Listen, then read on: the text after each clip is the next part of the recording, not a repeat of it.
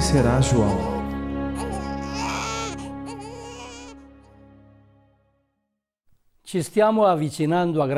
Aproximamo-nos a largos passos da celebração do bicentenário do nascimento de Dom Bosco. É uma ocorrência que nos deve achar prontos e disponíveis para reforçar a nossa identidade carismática. É nosso dever compreender, reinterpretar e perpetuar tanto as suas intuições e opções, quanto a ação pastoral que ele atuou Genialidade operativa, dotes educativos espiritualidade são certamente três dimensões que caracterizam a sua figura. O primeiro passo é conhecer sua história. Um conhecimento que, valendo-se dos métodos da pesquisa histórica, não pode esquecer o grande amor de Dom Bosco pelos jovens, nem a presença e ação de Deus em sua vida e la presenza e l'azione di Dio nella sua vita.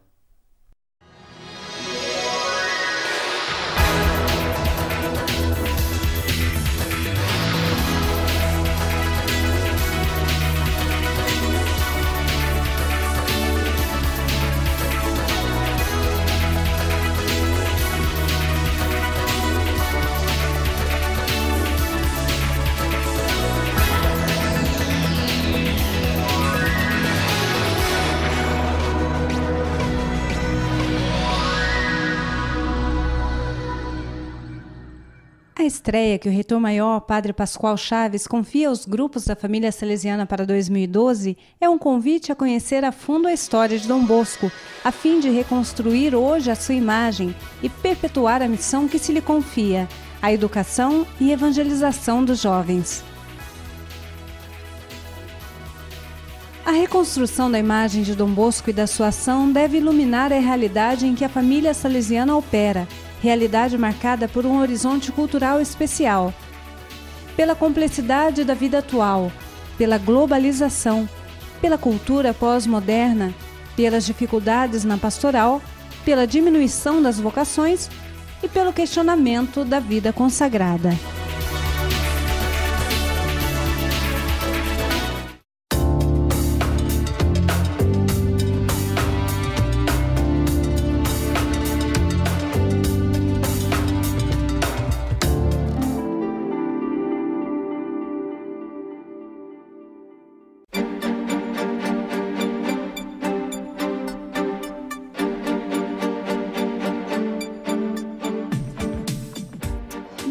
Continua sendo uma figura de grande relevo para a Igreja e a sociedade.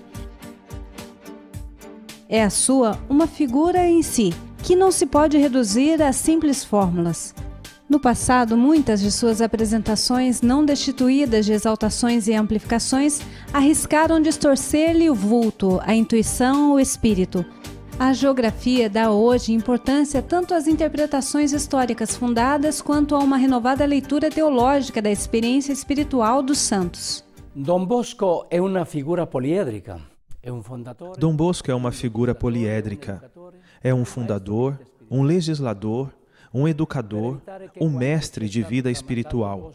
Para evitar que o que nos foi transmitido se possa extraviar, é urgente e necessário conhecê-lo.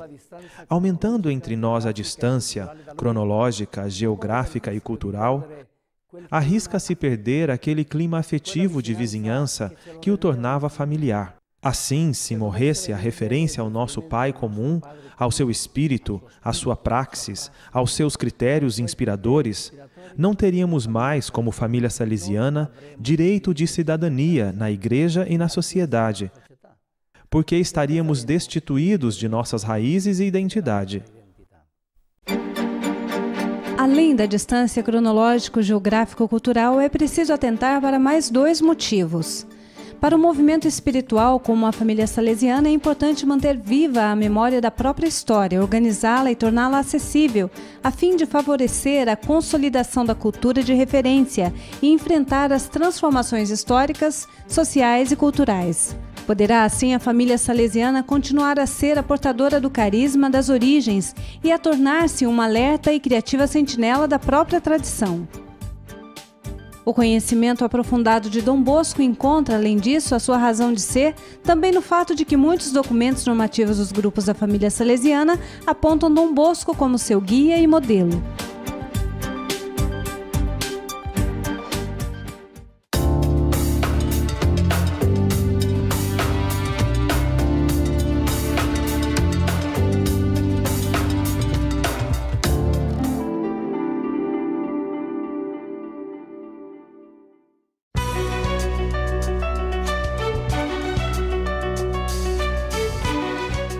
História de Dom Bosco deve ser reconstruída e interpretada com coragem e autenticidade. O historiador, como sugeria o Papa Leão XIII, não diga nada de falso nem cale nada de verdadeiro. Colher também as imperfeições dos santos oferece a tríplice vantagem de respeitar a exatidão histórica, sublinhar o absoluto de Deus, mostrar a fragilidade da natureza humana de que todos compartilham. Após que superar o anedotismo e favorecer neste raiar do terceiro milênio a atualização de Dom Bosco. Um conhecimento em tensão que, entre o questionar-se do presente e a busca de respostas no passado, ajude o carisma salesiano a enculturar-se no hoje.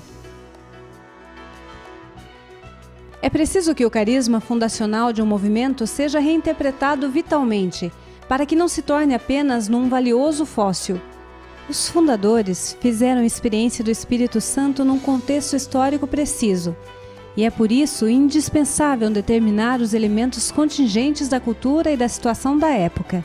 Só assim será possível determinar o valor de sua ação e o alcance das suas respostas aos desafios do tempo. Uma pesquisa histórica sobre Dom Bosco deve estar em condições de determinar quanto é transitório ou quanto permanente no carisma, quanto se deva deixar e quanto assumir. A história de Dom Bosco, além disso, não é apenas nossa, é da Igreja e da humanidade. Não deveria estar ausente das suas historiografias. A exclusão do debate cultural em curso em cada país determinaria, outro sim, a insignificância histórica dos salesianos, a sua marginalização social, a ausência da nossa oferta educativa. Se quisermos continuar a ter credibilidade, devemos ter o mesmo profissionalismo, adotar a mesma linguagem. Adottare lo stesso linguaggio.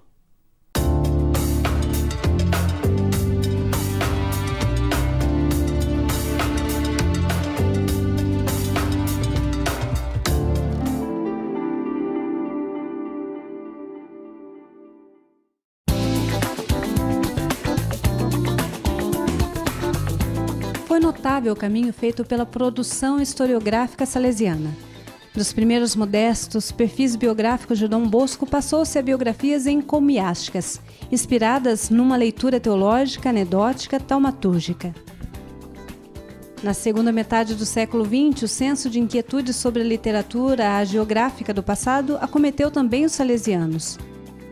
O clima cultural dos anos 70, através de pressupostos, tendências, métodos e instrumentos de pesquisa partilhados pela pesquisa historiográfica, levou a aprofundar o conhecimento do patrimônio herdado de Dom Bosco.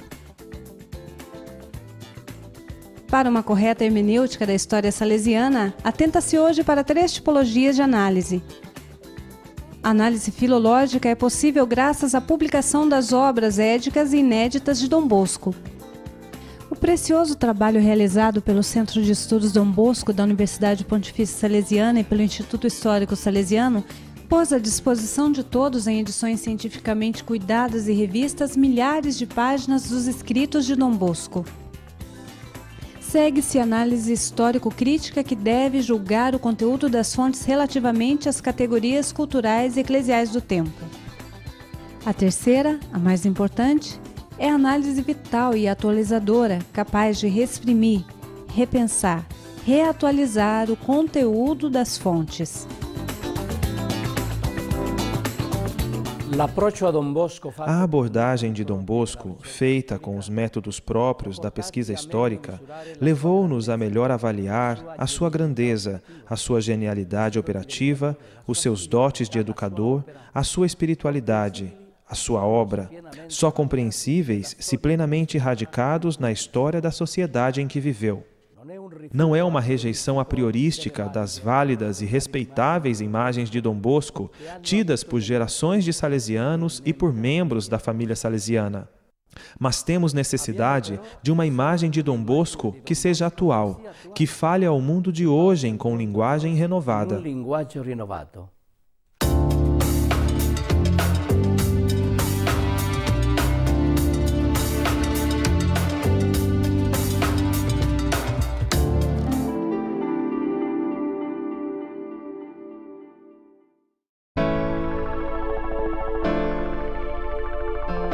Padre Chaves, em seu comentário à estreia, evidencia e analisa algumas experiências e opções feitas por Dom Bosco.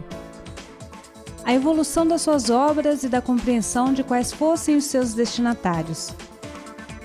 O que entendia por juventude abandonada. Como respondia às necessidades dos jovens. Como respondia com flexibilidade às necessidades sua insistência em viver pobremente e trabalhar sem descanso. A partir da análise histórica desses comportamentos, sugerem-se caminhadas de avaliação a fim de poder construir uma imagem fiel de Dom Bosco e não uma simples repetição.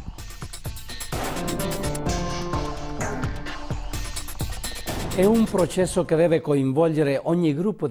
É em que se deve envolver cada grupo da família salesiana para chegar a uma visão comum, culta, profissional, profunda de Dom Bosco, de modo a valorizar o patrimônio histórico, pedagógico e espiritual. Um processo que, favorecendo o conhecimento da realidade juvenil, tenha claro o perfil do cristão na sociedade. Trata-se, em outras palavras, de rever instituições e estruturas de agregação e educação, de reler o sistema preventivo em chave de atualidade, de apresentar ao mundo e à Igreja um estilo específico de educador salesiano.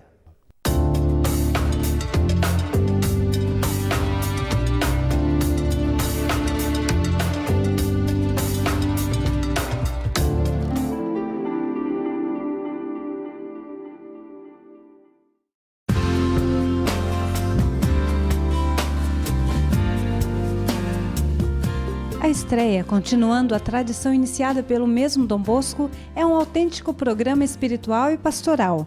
Empenha indivíduos e comunidades em estudar, refletir, rezar e fazer juntos.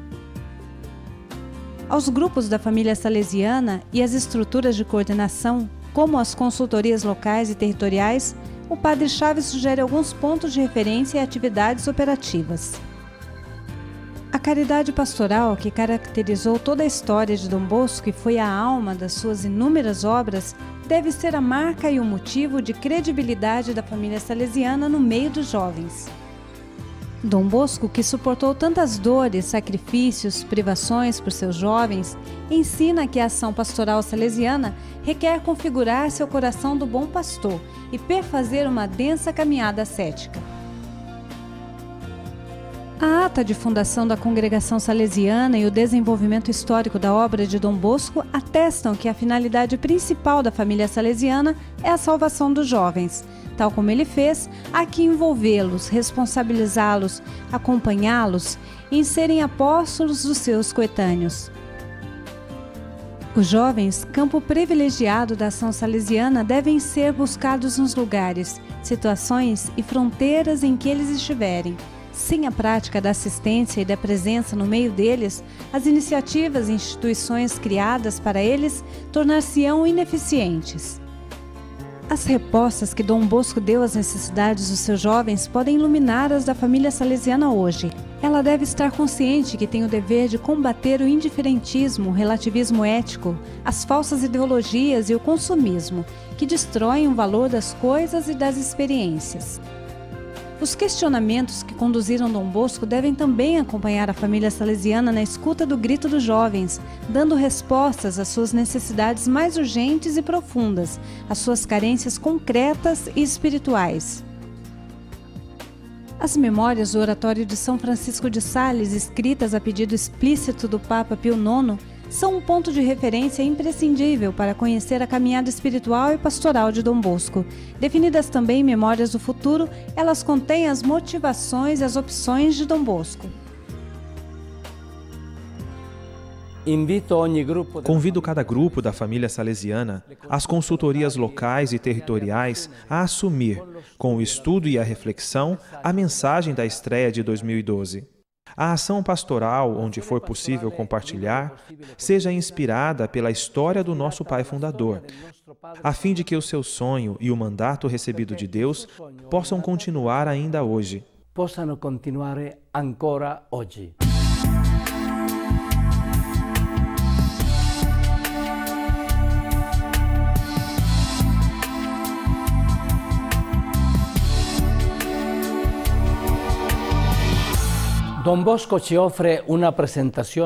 Dom Bosco oferece-nos uma apresentação simples, mas também profética do seu espírito e da sua missão, o sonho dos nove anos.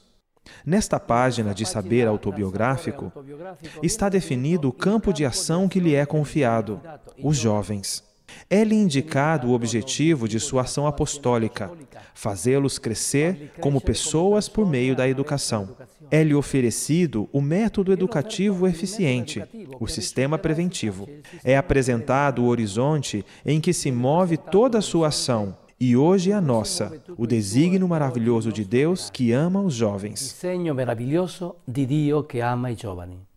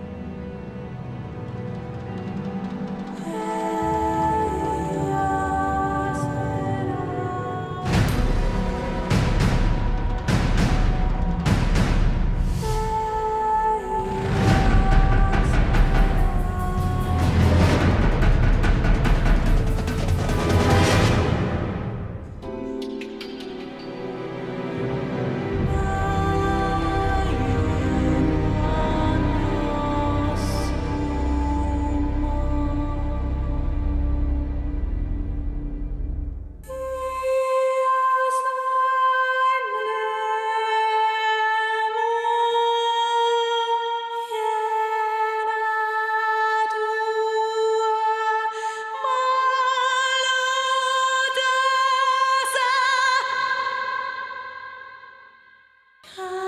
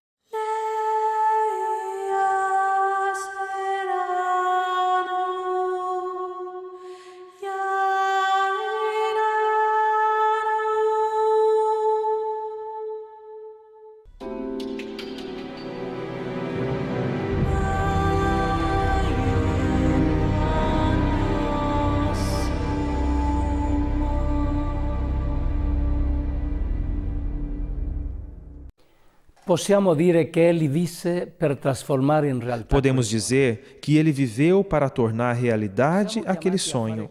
Somos chamados a fazer quanto fez o nosso amado Pai, assumir os jovens como programa de vida, razão da nossa existência, consumindo com eles todas as nossas energias até o último respiro.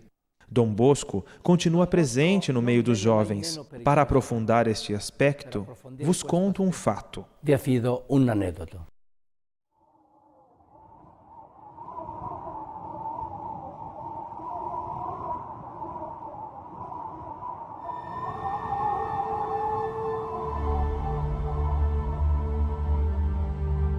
Imaginem um pátio da prisão de uma colônia europeia do século XVIII.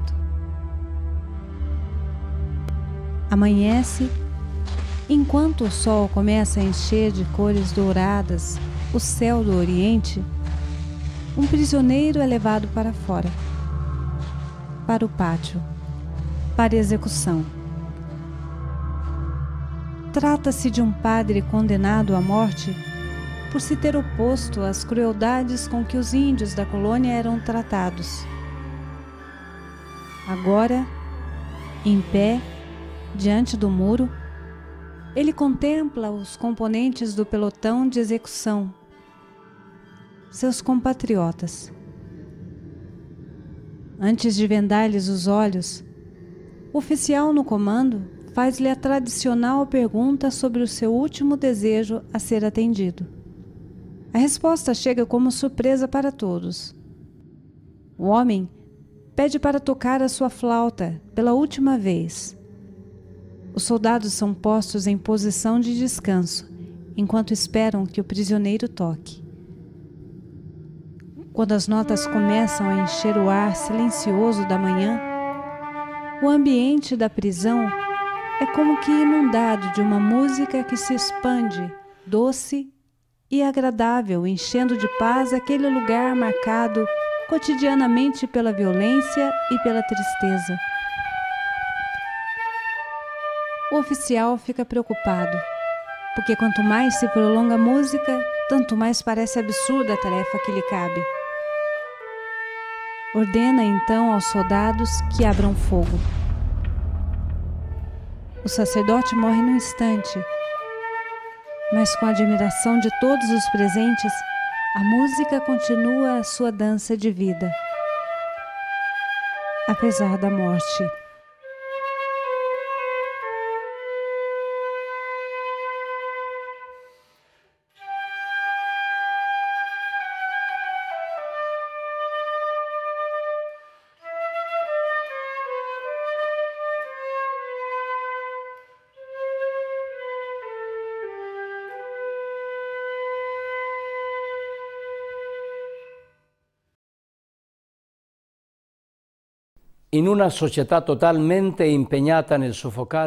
Numa sociedade totalmente empenhada em sufocar a mensagem de Cristo, considero que a nossa vocação seja aquela de estar entre aqueles que continuam a irradiar a música da vida. No mundo que faz de tudo para que os jovens não ouçam o insistente convite de Cristo para vir e ver, é nosso privilégio termos sido fascinados por Dom Bosco e encorajados a tocar a música do coração, a testemunhar a transcendência, a exercitar a paternidade espiritual, a estimular os jovens com uma orientação que corresponda à sua dignidade e aos seus anseios mais autênticos. Caríssimos irmãos e irmãs, membros da família salesiana, amigos de Dom Bosco e jovens todos, desejo a todos um 2012 rico de bênçãos de Deus